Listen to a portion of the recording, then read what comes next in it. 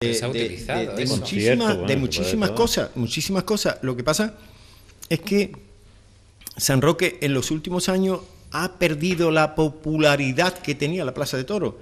Yo me acuerdo cuando la Plaza de Toro los veranos era una fiesta, en todos los sentidos, los cines de verano, los guateques, la, fiesta, la Lola Flores y bueno, todas las grandes artistas han pasado por aquí. Y los pequeños de nuestra de, nuestro pueblo cuando hacíamos los bailes regionales. Y los circos, en fin, en la Plaza de Toro se le puede sacar provecho y creo que alguien con, con iniciativa puede hacer un negocio. Y yo se la ofrezco, si es que no quiero nada a cambio, lo que quiero es actividad y que la gente use en su Plaza de Toro para divertirse. Los cursos de verano, pues exactamente lo mismo. Han pasado 30 años. Pienso y lo digo, sé que voy a tener mucha crítica en esto. Tiene usted ya una en el periódico de Patricio. Pero se lo voy a decir, bueno, Patricio González y el quien sea. Yo le voy a decir una cosa, mire usted, mientras hemos podido, nunca puedo estar en contra de los cursos de verano. Evidentemente que le ha dado un renomé una, y una imagen a San Roque importantísima, importantísima. Pero no es la primera prioridad de San Roque ahora mismo. Y yo no puedo arriesgar de que a mí los cursos de verano, como me ha pasado el año pasado, es que se lleven a cabo y que hoy todavía los profesores o los catedráticos que han estado aquí no han cobrado todavía lo que tienen que cobrar, ni los hoteles han cobrado los hoteles que, que han tenido que estar los profesores, ni los taxis que recogían a los profesores están sin cobrar. Es que no lo puedo permitir. Y la repercusión que tiene los cursos de para San Roque es una repercusión de imagen, que es muy importante. Porque si yo recuerdo los cursos de verano de hace 7, 8, 10 años, cuando aparte de los cursos de verano era una fiesta para el pueblo, era una fiesta para el pueblo, porque yo recuerdo esa plaza de armas cuando se, se llenaba por la noche con conciertos y cosas, que era una fiesta más. Pues bueno, por ejemplo, el sanroqueño se divertía, pero los cursos de verano es a un sector de la población muy específico. Son aquellos estudiantes que gracias a los cursos de verano pues pueden hacer créditos para bueno, para tener sus carreras y, avanzar en los créditos que cada uno tiene que tener. Que me parece muy normal, muy bien y muy justo, y que sea San Roque es un orgullo. Pero cuando no hay, no hay. Yo no puedo sacrificar a otras cosas por los cursos de verano. Y además, digo otra cosa, que a lo mejor los, cursos de verano necesitan también una reflexión. Y pensar de hacer otros cursos de verano. Como puede ser, como puede ser, ¿por qué no pensamos un poco más amplio? ¿Por qué no pasamos y orientamos los cursos de verano a unos cursos internacionales? Con Gibraltar en inglés, con los países, con la cantidad de extranjeros que tenemos ubicados en nuestro municipio, que sea algo, unos cursos de verano internacionales. ¿Por qué no?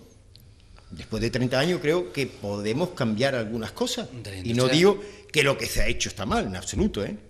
Ha sido un gran logro y nos, tenemos que sentir orgullosos de lo que La industria turística es un potencial importante. Pero yo creo que tenemos que usar nuestro mecanismo para traer riqueza y puestos de trabajo a nuestro pueblo.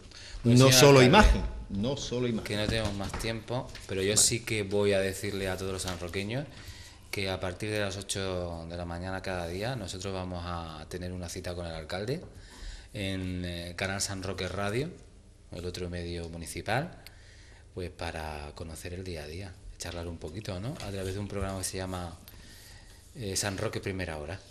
Pues yo espero que me dejéis, me dejéis eh, de primero hacer las obligaciones que tengo que hacer porque yo me comprometo a estar presente siempre Nosotros vamos a llamar a la puerta. usted me llama y le digo, mira, tendré que decir, pues mire usted, Diony, hoy, por hoy no tengo, hoy no tengo tiempo, tengo una reunión. Vamos a contactar, vamos a intentar contactar cada día por teléfono. Pero yo encantado y además contra más directas sean las preguntas de los ciudadanos, más me gustan, porque no lo voy a pues, engañar, le voy a decir lo que pienso. Y bueno, que le pido también que salude a sus sanroqueños que están por España y por el mundo a través de internet. Pues teníamos, ah sí lo iba a decir, lo tengo hasta apuntado, ¿eh? lo tengo hasta apuntado porque tengo la información de vosotros que, cada vez hay miles, hay miles ya de personas que nos siguen mediante televisión municipal de San Roque a nivel de internet. y, bueno, es, es una satisfacción muy grande. ¿Te acuerdas cuando yo dije aquí, oye, la revista Alameda es muy bonita, pero vamos a cambiarla, vamos a hacer otra cosa. Y ahora, creo que hay más gente que mira, y no quiero decir que no esté bien la revista Alameda, pero es que tenemos que adaptarnos a los tiempos. Tenemos que ir en busca de ella. Y hoy ya hay más gente que se pone delante de un ordenador que coge una revista. Tenemos que ir en busca de ella. Y hay que buscarla y hay que innovar. Igual el papel desaparece, pero eso no quiere decir que no podamos llegar a los ciudadanos. Llegamos a través de otra. El papel va a valer solo para irse a la playa, al sol, porque allí no puedes leer internet. Entonces el único, lo único que vale es el papel. Y usted dirá que yo soy muy pesado, pero la TDT también es otra realidad que tenemos que tener. Eh, estamos, estamos en ello, estamos en ello y Usted me teme cada vez que me ve porque además que le, le doy la coña. vamos a ver. Es eh, así. a ver, Que yo mire quiero que, que- que- que- que todo el mundo nos vea. Vamos a ver. ¿Cuánto le cuesta al ayuntamiento o a multimedia la nómina mensual? ¿Sabéis? ¿No sabéis nadie cuánto es la nómina de, de multimedia al mes? Yo, ¿Tú sí la sabes? yo ¿Cuánto sí lo sé, pero yo espero que lo, no, que lo diga usted. Yo Pues no- estamos en 24 o 25 mil euros. ¿Vale? Quiere decir que con no gastarme 100 mil euros para otra cosa, yo tengo cuatro meses para pagaros la nómina a vosotros, que es para mí más importante, ¿no? Es que cuando hablamos hay que decir las cosas claras. Pero Mire usted, contemplarlo, por lo menos. No, tenerlo para pagarlo, que es contemplarlo. Yo puedo contemplar mucho, pero si no tengo dinero no vale la contemplación. Yo tengo que la. TDT tiene que ser una realidad, alcalde. ¿Pero qué quiere primero? ¿Tu sueldo, tu nómina o la TDT? No, pues se puede poner la TDT, pero yo no me siento. Si no me Eh, paga. Es que no te puedo pagar. Pues entonces de la TDT.